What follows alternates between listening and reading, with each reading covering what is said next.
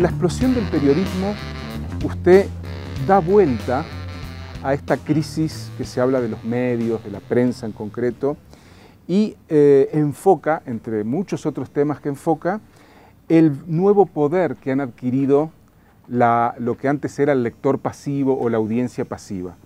Y un poco plantea que eh, este nuevo papel activo, eh, con el cual deberíamos haber soñado siempre los, los periodistas críticos, eh, usted lo coloca como una de las causas de este desacomodo y crisis de los medios actuales. Bueno, la gran um, transformación que produce Internet eh, en, la, circulación de la información está en ese aspecto. Es decir, donde antes había unos medios centrales, yo les llamo los medios sol, ¿verdad? son como un astro, ¿verdad? Y que eh, enviaban sus, sus rayos de sol sobre toda la sociedad. La sociedad eh, tenía que impregnarse de esa eh, supremacía, en definitiva, que conocían esos, esos astros. Hoy, en cambio, la situación se ha modificado. Es que con la revolución Internet, eh, el receptor ya no solo no, puede intervenir de vez en cuando, sino que en realidad puede él mismo eh, constituir un medio. Y lo puede hacer de muchas maneras. Eh, voy a hacer un pequeño inventario. Eh, lo puede hacer primero, por ejemplo, haciendo una página web al que le da un título y funciona como un periódico digital, que hace esta persona solo o que hace con algunos amigos. Puede hacerlo teniendo su blog. Puede hacerlo difundiendo por Facebook todo aquello que le pueda interesar al conjunto de los amigos que se han inscrito y que son sus, eh, sus socios. Puede hacerlo mediante Twitter, informando sobre lo que va haciendo, lo que va viviendo. Pero también puede hacerlo porque ahora los grandes medios tienen una eh, vitrina eh, digital. Tienen una vitrina digital, aunque sea un canal de televisión, tiene un, periódico digital, tiene una información, una página web digital. Y en los textos que aparecen ahí alguien puede intervenir haciendo comentarios. Eh, los que antes eran pasivos, ahora son comentarios que se añaden, que corrigen, que complementan los artículos. Eh, puede el, ciudadano puede ahora no solo eh, comentar los artículos, sino completarlos, puede indicar bibliografía, puede indicar otros elementos que van a, a corregir positiva o negativamente, puede añadir fotografías, puede añadir vídeos, etcétera todo esto hace que la información ya no es algo eh, limitado y fijo. Es lo que quería decir. Es decir, que la concepción de la información viene del periodismo de prensa escrita, hasta en la radio y en la televisión. Y la génesis eh, es el trabajo de la era industrial. El Fordismo. El Fordismo. El Fordismo y también esta idea de que hay un proyecto, unos planos concretos, etcétera, y luego se lleva a cabo eh, la realización del producto y el producto es un producto terminado. Eh, se acabó, el producto sale y no se puede tocar ese producto. Eh, eso ya no es así ni siquiera en la industria, donde ahora, como sabemos, por ejemplo, la revolución Toyota desde los años 80 hace que se fabrica el coche que quiere el cliente. Es decir, que el cliente cuando encarga un automóvil va a encargar un automóvil con tal y cual característica y ese es el automóvil que se va a fabricar.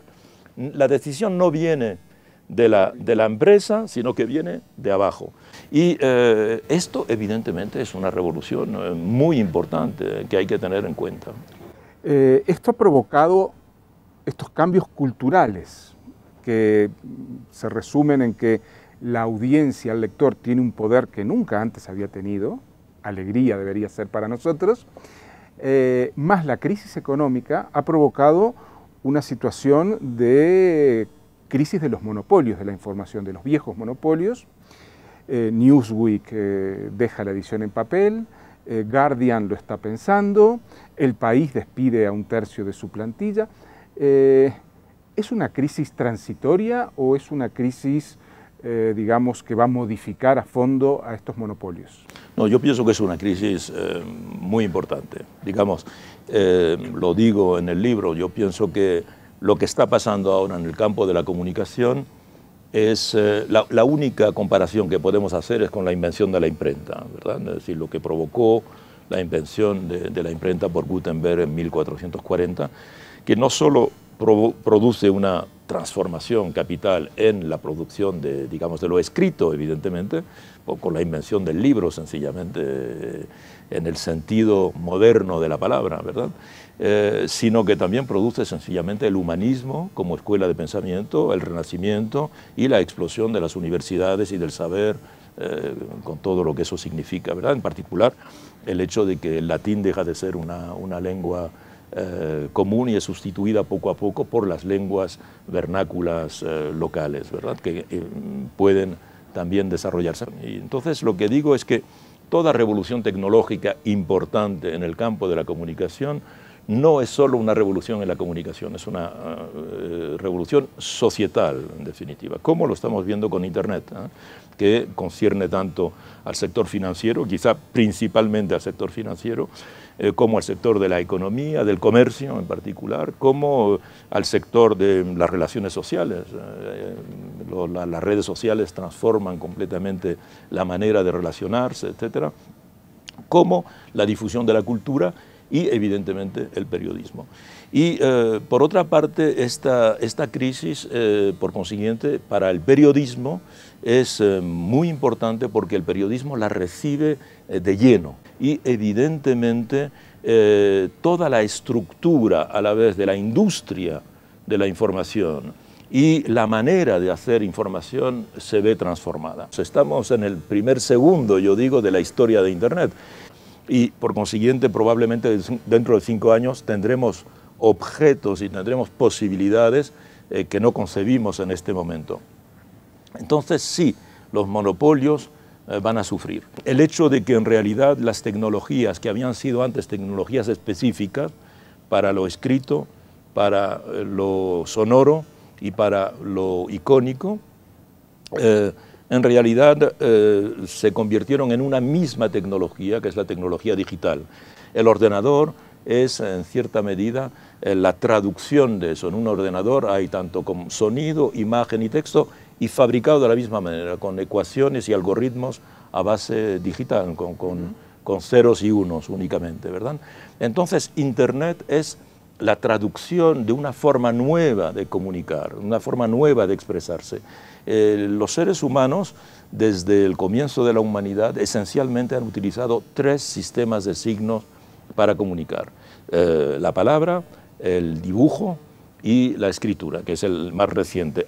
Con Internet aparece un cuarto, que es una mezcla de los tres más una dimensión eh, suplementaria que es la velocidad y la extensabilidad, es decir, el hecho de que se ocupa el planeta en un, eh, en, un segundo, ¿verdad?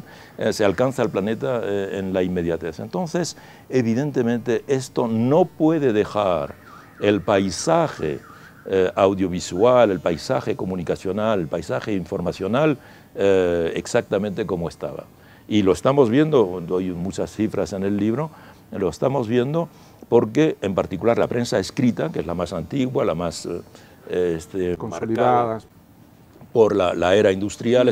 Eh, la prensa escrita sigue siendo una prensa pesada, con obreros, con maquinarias, con etcétera. Eh, es decir, es de la era industrial, evidentemente, es la que más está sufriendo de esta transformación y vemos cómo los periódicos, como usted decía, están desapareciendo eh, masivamente. Yo le llamo a esto una extinción estamos asistiendo, y esto nunca ha existido. La compara con la extinción de los dinosaurios. De los dinosaurios, sí, sí, exactamente. ¿Esto quiere decir que este intento represivo que se manifestó en el cierre de Mega Upload eh, está destinado al fracaso? Eh, ¿Son medios, tecnologías que intentar controlarlas puede volverse en contra de quien lo intente? Bueno, eh, hay, hay, dos aspectos, digamos. Este aspecto porque ¿cuál es eh, el, problema, que, uno de los problemas que plantea esta transformación radical? El problema es que no hay modelo económico. El sistema anterior, hoy día eh, arcaico, eh, es un sistema que tiene muchos defectos, pero que es muy rentable. Entonces, como este sistema recicla no solo la información, sino que recicla evidentemente todo lo que tiene que ver con la comunicación y el ocio, es decir, la música y el cine o la televisión. Eh, el problema es cómo lo recicla gratuitamente, ¿qué, es de aquellos que lo han producido? Los productores, los actores, los artistas, los, creadores, eh, ¿de qué van a vivir si todo circula gratuitamente? No vamos a asistir a un derrumbe de la creatividad, problema absolutamente real, problema absolutamente real. Entonces, eh, con Megalaudon, lo que ocurrió fue eso, es decir, el hecho de que lo que se buscaba era frenar la piratería, que es uno de los problemas. Hoy día hay dos escuelas, por una parte, hay una escuela, digamos, popular, reivindicativa, verdadero movimiento social, hasta hay partidos en Europa que se llama el Partido Pirata, que está este, desarrollándose, que tiene diputados en varios países, etcétera, cuyo, eh, digamos, objetivo principal es, obtener que eh, Internet siga siendo gratuito y que los usuarios de Internet puedan eh, pues, ver las películas que quieran, eh, escuchar la música que quieran sin tener que pagar o pagando lo que ellos quieran. La otra problemática es que es la que surge con Wikileaks, que es del mismo nivel, pero a otro, en, otra, en otro aspecto, ¿verdad? Eh, Wikileaks evidentemente es un puro producto de Internet. Wikileaks es impensable fuera de Internet. Eh, no impensable en tanto que, eh, digamos, eh, este, mm, gestión periodística, porque lo hemos visto desde siempre. ¿Qué fue el Watergate? El, Watergate fue el, como digamos, el robo de información este, aportado por un informador, garganta profunda, y difundido por el Washington Post. ¿Qué fueron los cuadernos del Pentágono? Fueron eh, unos dossiers que existían en el Pentágono, de papel evidentemente, y que eh, una persona sacó e entregó al New York Times, que lo difundió y reveló las características del... Entonces, sobre el principio nada ha cambiado, pero evidentemente lo que sí cambia es que eh, la cantidad de información que se puede difundir ahora por Internet es absolutamente masiva. no se trata de un artículo o dos artículos, se trata de toneladas de información que están resumidas en un, en una, en un lápiz digital, ¿verdad? O en una, en una disquete. Evidentemente Wikileaks lo ha hecho en un sentido de difundir eh, información oculta que, eh, eh, cuya, digamos, cuyo secreto beneficiaba a potencias, ya sea de dinero, bancarios, este, eh, bancos, empresas eh, que, difunden la toxicidad, etc. No era la primera vez que lo hacían. Y los eh, dossiers del, Pentágono también. O, de, o, del, o, del, Ministerio de Asuntos del Departamento de Estado americano. Entonces, eso es lo que ha creado también esta idea que Julian Assange, que es un que es una especie de héroe, ¿verdad?, para muchas personas, y yo, en mi opinión, legítimamente, ¿verdad?, eh, pues se transforma en el, enemigo público número uno de los Estados Unidos, como lo estamos viendo en este, en este momento, claro. Entonces, estos son problemas que eran inconcebibles en la, información de antes. En América Latina, eh, en los últimos 10 años hemos tenido muchos debates, pero uno de ellos ha afectado a lo que llamamos lo común, lo común es el agua, la biodiversidad, etc. Y que eso común no debe pertenecer a nadie, bueno, ahí aparece el papel del Estado. ¿Usted cree que eh, Internet debería ser considerada también como un bien común de la humanidad? Ese, evidentemente, yo pienso que es un debate, digamos, hoy día. Es una, es una, es una mm, posición la que consiste en decir, en particular, para todo lo que es la cultura, por ejemplo, eh, cuál es el objetivo eh, que puede tener un ciudadano, eh, digamos, de progreso. bueno, que la cultura circule sin trabas.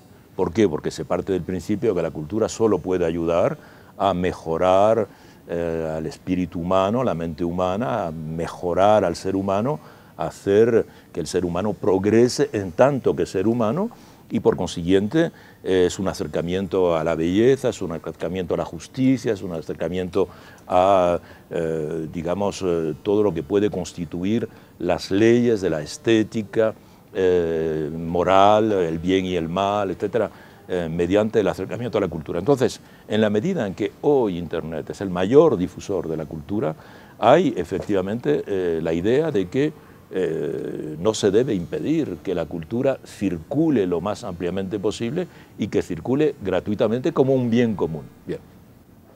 Entonces, la cuestión de esta... Hablo ahí porque, claro, en el comercio es imposible. Pues, el, comercio lo que, es, lo que es gratuito es poder encargar su televisor o en poder encargar su nevera, eh, pero luego hay que pagar la nevera, evidentemente. ¿eh? Entonces, mientras que la cultura se puede consumir porque está desmaterializada, una, película se puede consumir eh, inmediatamente. Ya Hollywood, por ejemplo, piensa hoy que es mucho más difícil producir que anteriormente en la medida en que eh, la parte de la piratería representa 10, 15, 20, 30% de falta de ganancias para, la circulación de sus, de sus obras. Y eh, esto es un problema evidentemente muy serio, eh, porque lo, estamos viendo en la música. Los principales productores de música a través del mundo ya han mm, casi desaparecido. solo sobreviven algunos. El disco y hasta el CD eh, prácticamente ya no se vende. En, muy poco tiempo eh, pasaron a ser antiguayas. El CD, que era la cosa más moderna hace 15 años, 20 años, es ahora eh, una cosa. Todo lo que es material en la materia es absolutamente pasado de moda y con una circulación mucho más pesada, etcétera. Hay que transportarlos, hay que ponerlos, hay que venderlos, hay que desplazarse, cuando evidentemente la música puede circular sin, como un fluido cualquiera eh, mediante Internet. Entonces la cuestión se plantea, y digo se plantea, por ejemplo, para el cine, la televisión o para la literatura también ahora, porque eh, los, libros también están digitalizados. Entonces eh, habría que pensar de dos maneras, o bien el Estado decide de asumir la función, igual que asume la función de garantizar la producción y la distribución de la electricidad, pongamos en la mayoría de los países europeos, aún son empresas del Estado, o, el agua, que es un bien común, pero entonces alguien tiene que asumir su transporte, su potabilización, etc. Eh, eh, y entonces esto puede hacerlo el Estado, eh, o habrá que encontrar una fórmula mixta eh, que permita al Estado en particular que para los productos culturales eh, el precio sea un precio que sea relativamente asequible. Eh, son problemas extremadamente complicados, porque claro, cuando mezclamos al Estado con la cultura, siempre es relativamente delicado, porque el Estado, el Estado representado por el gobierno, el gobierno puede tener la tentación de, eh, evidentemente, favorecer aspectos culturales y desfavorecer a otros. Luego, eh, eh, son problemas extremadamente complicados y relativamente clásicos, digamos. Pero estamos en un debate. En Argentina está el tema de la ley de medios. Tenemos una situación en la cual el Estado puede ser garante de de, este bien común que es eh, la comunicación. Hay que ver cómo jugaría respecto al tema de la creatividad, una remuneración o un, unas garantías al creador. Eh, ¿Cree que en América Latina o en Sudamérica estamos eh, en un proceso de rediscutir estos temas? Bueno, el tema de la información, yo creo que es hoy día, digamos, el territorio, la zona, la región del mundo donde más se plantea, de manera más central. Entonces, aquí se ha vivido en América Latina durante decenios eh, prácticamente como si eh, la información eh, fuese un monopolio del sector privado, uno más en definitiva. Yo digo que cuando llamamos a estos propietarios este, latifundistas mediáticos, la, idea está muy bien dicha porque América Latina durante mucho tiempo fue administrada por los latifundistas de, las tierras, ¿verdad? las oligarquías este, eh, agrícolas. Entonces, eh, la idea está en, cómo reducir esa dominación eh, sin crear, sin destruirla, porque yo creo que la sociedad se enriquece en la medida en que pueda haber varios puntos de vista. y entonces lo que han hecho varios países aquí de manera muy constructiva es que han creado un servicio público de la información, como existe en todos los países europeos. Eh, y el ejemplo que siempre se da como eh, del mejor canal, digamos, del sector público a escala internacional es la BBC eh, inglesa, que tiene una estructura que, de control separada del Estado, un poco como un poder judicial, ¿verdad?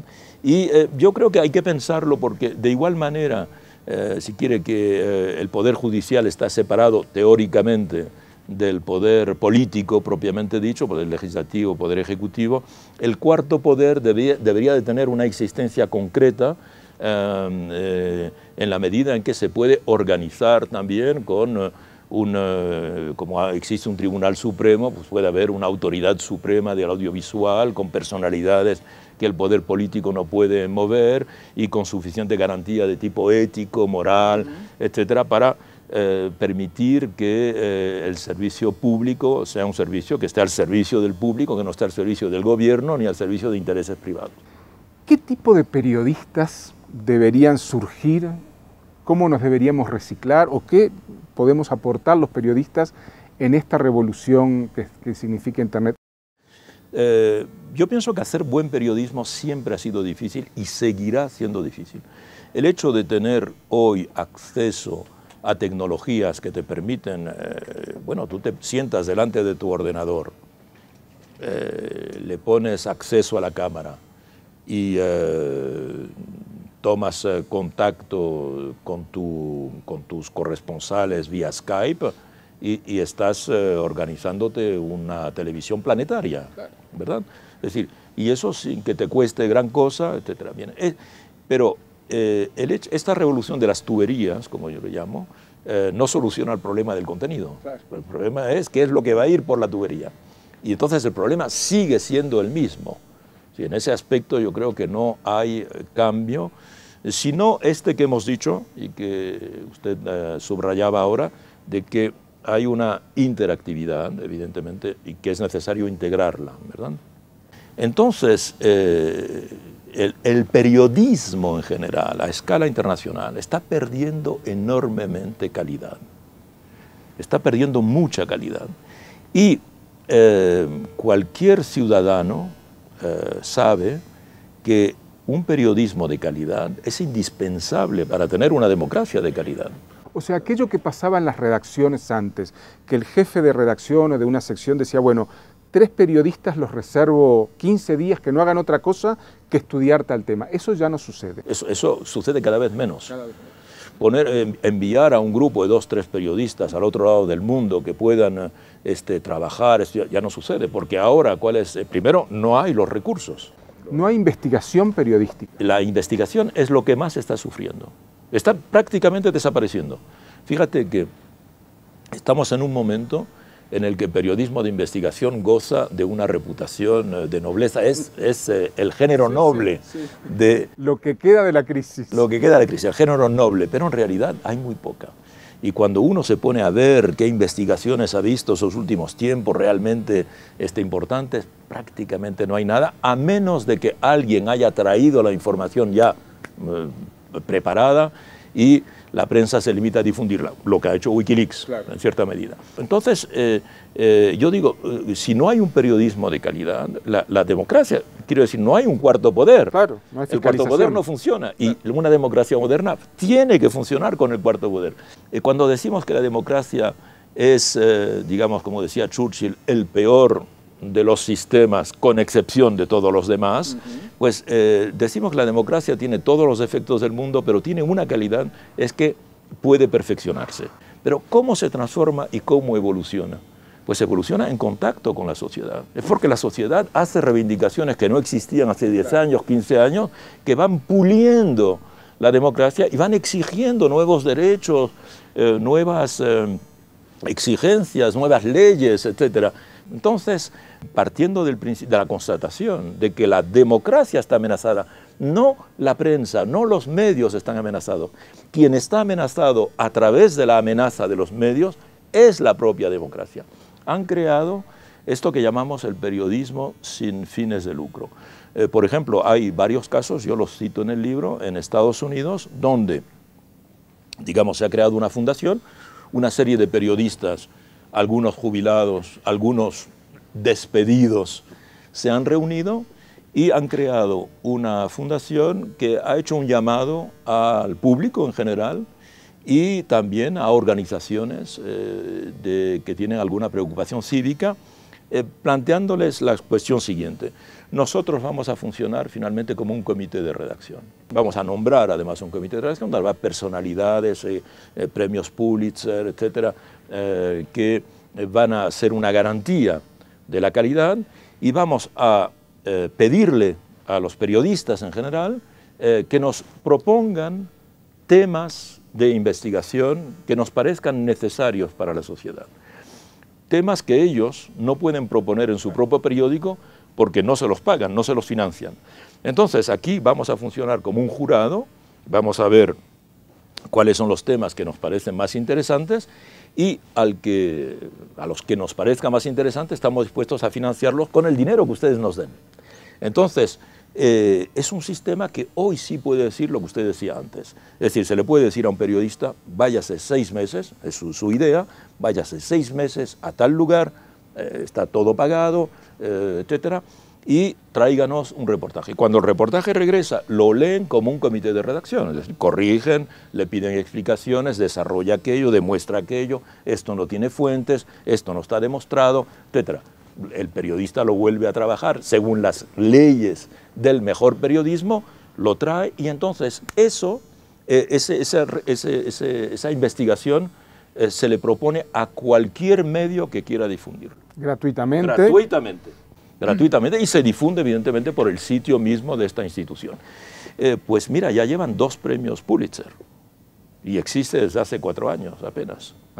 O sea que eh, la sociedad está produciendo ella misma eh, los elementos que compensan las carencias que se están creando en este sistema de crisis. Pero responde a la idea de que el buen periodismo se seguirá haciendo con las leyes de siempre, digamos, con una información verificada, autentificada, este, a pesar de los periodistas y de los monopolios. A pesar de los monopolios, a pesar de, a pesar de, Internet, etc.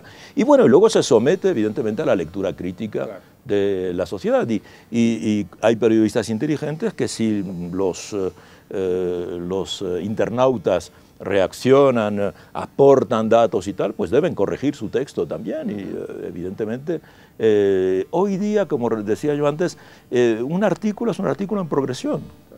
No, no, está escrito una vez para siempre. Este, esta, proliferación de medios que mencionábamos hoy, que, sucede en América Latina de modo muy particular, Argentina es uno de los lugares donde hay una enorme cantidad de medios de base que ahora hicieron su encuentro, están más o menos conectados.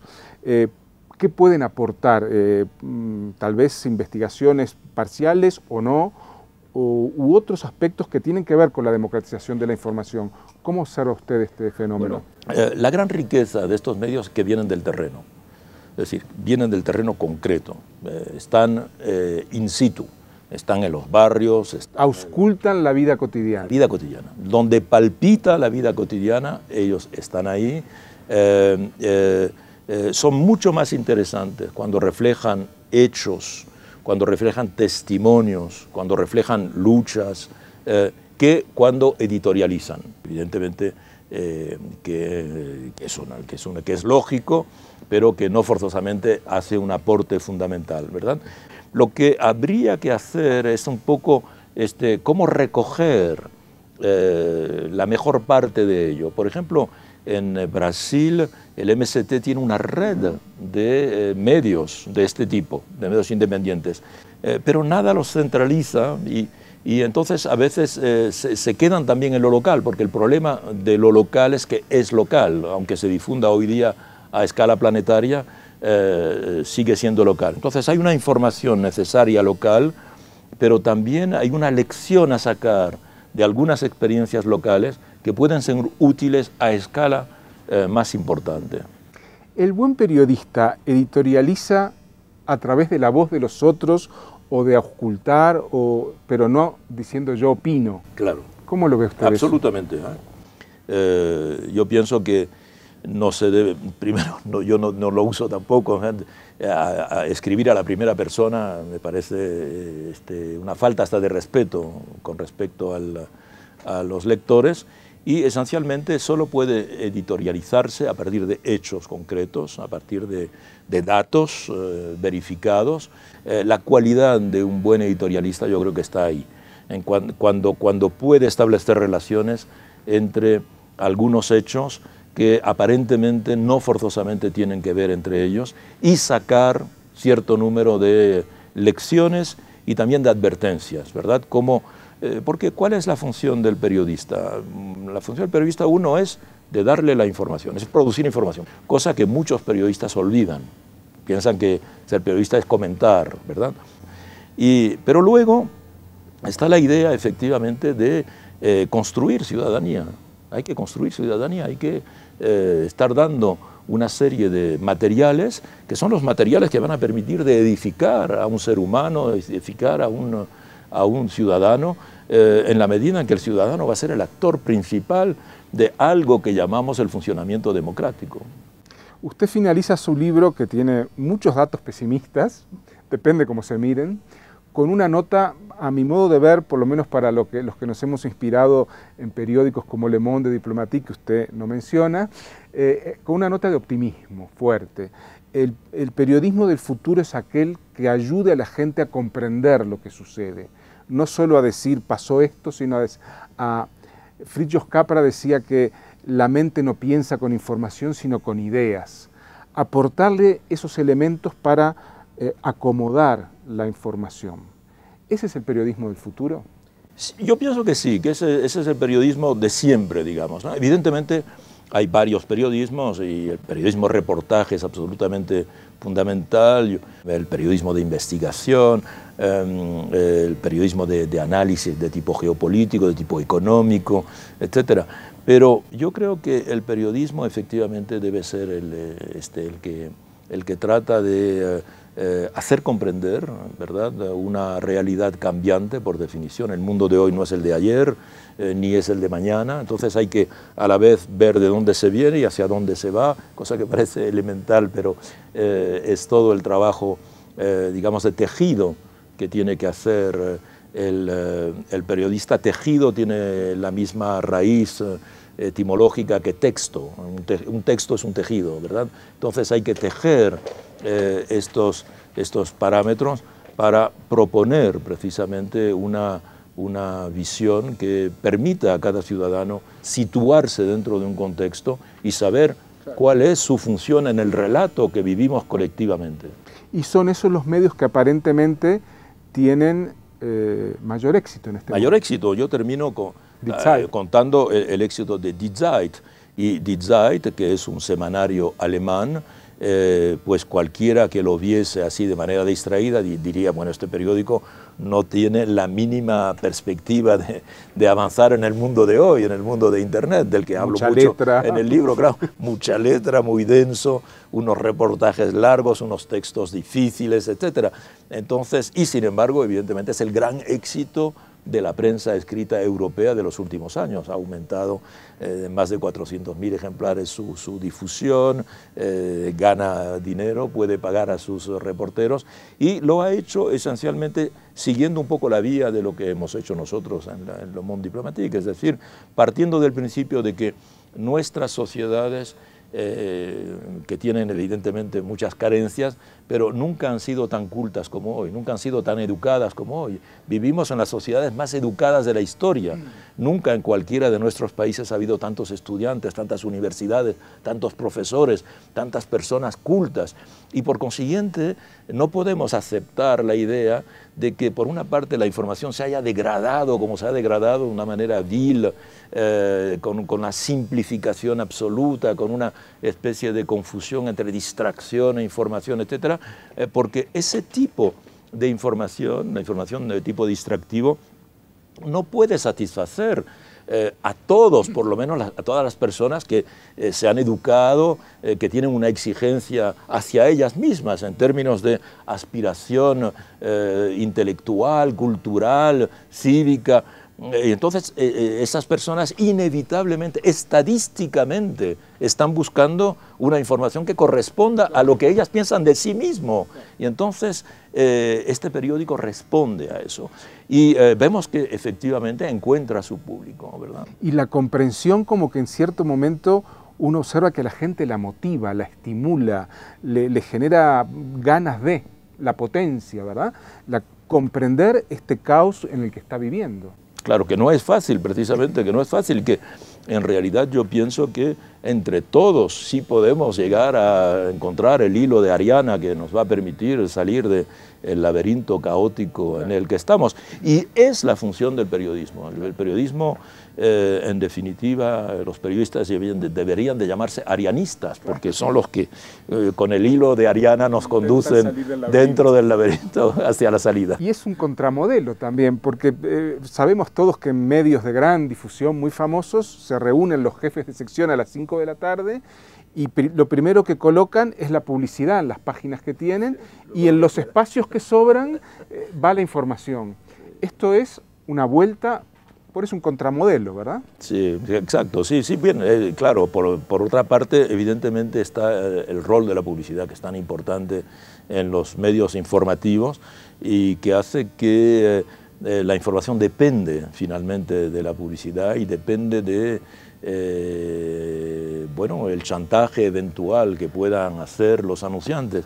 Y todos sabemos hoy que eh, bueno, muchos periódicos, en particular periódicos en regiones, en provincias, eh, periódicos locales, pues no pueden nunca denunciar los abusos de algunos empresarios, algunos banqueros, etcétera, porque perderían su publicidad y entonces el periódico se hundiría. Entonces, evidentemente, eh, digamos, la, célebre objetividad está falseada y la información está falseada precisamente por estos elementos. De ahí que hacer un buen periodismo suponga también una autonomía financiera. Por eso es muy importante asociar a los lectores a, digamos, al capital mismo de la empresa, cosa que hoy también se puede hacer. Una última cuestión sería lo que yo observo que es una suerte de desafío generacional.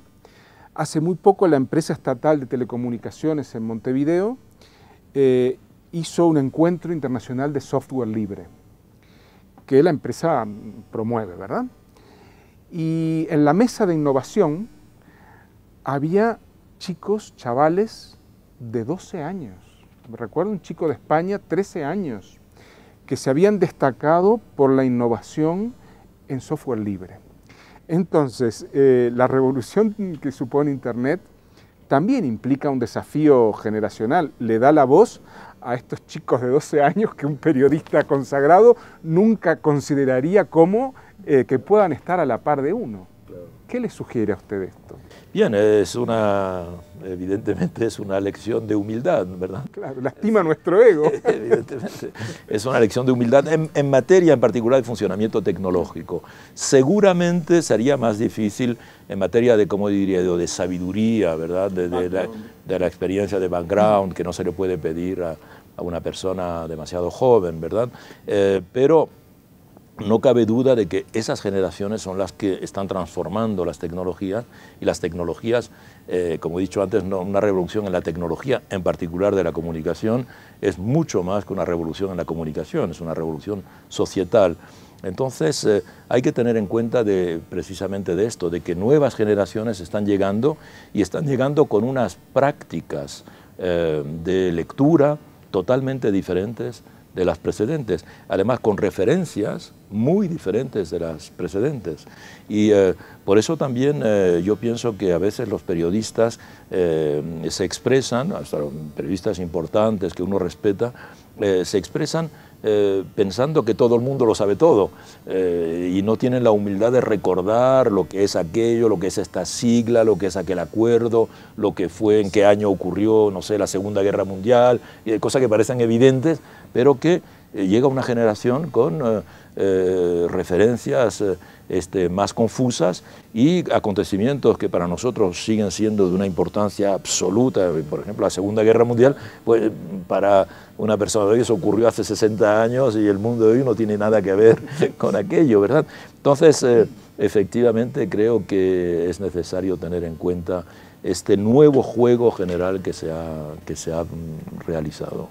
Así todo podemos mirar el futuro con esperanza con mucha esperanza, porque eh, de todas maneras las sociedades necesitarán un periodismo de calidad. Claro. Muchas gracias, fue un placer. Gracias, el placer fue mío.